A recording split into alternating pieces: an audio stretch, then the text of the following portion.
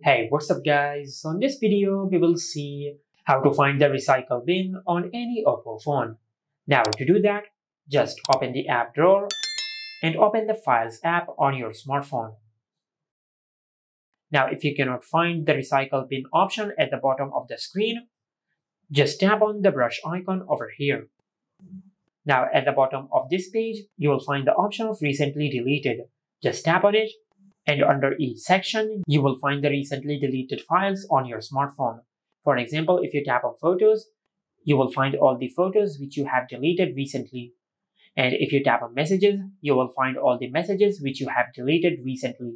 Now, if you're using Google Files instead of Oppo's own File Manager app, then go to your home screen and open the app drawer. From here, just open Google Files, then tap on the three lines over here. And from here, just tap on Trash. And as you can see, this is the recycle bin section in Google Files. And from here, you will find all the files which you have deleted recently. And this is how you can find the recycle bin on any Oppo phone. Make sure to like, comment, and subscribe. Thank you for watching.